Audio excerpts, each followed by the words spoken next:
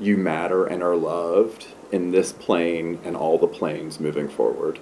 On Tuesday, April 18th, a body was found lifeless, alone and out of place in room 270 in Appleby Hall. Um, I was very surprised to hear that because it's not like a place I would expect to hear that someone died. That someone made the voyage from life to death in a place where we go to learn. And so I just imagined a person uh, passing on in one of these rooms, just sort of by themselves and alone. That's there's a certain sadness to that. This unidentified individual, apparently unsheltered, died in a lounge on the second floor, a few doors down from a counseling center and classroom. Community, Not only do we have to like celebrate the people in our communities, but we also have to like take a step and help the people in our communities.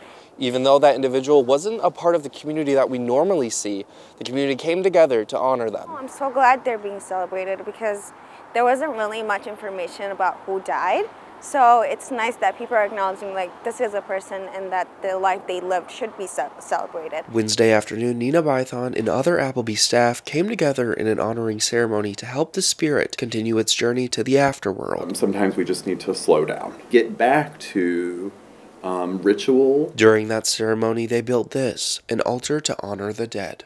Organizers asked us not to record video of the ceremony itself. We respected that request. Still, the energy from the spiritual tribute could be felt even after the traditional copal smoke left the room and the singing of the Nahuatl songs left for silence. The altar consists of spiritual offerings and colored flowers symbolizing the four directions and elements water, air, fire, and earth. That's the message that I want that person to know and receive. They matter. They matter, yes. They mattered, they matter. Appleby Hall is a busy place, and this is an especially busy time of year, but not too busy to take at least a few minutes to remember the life lost here.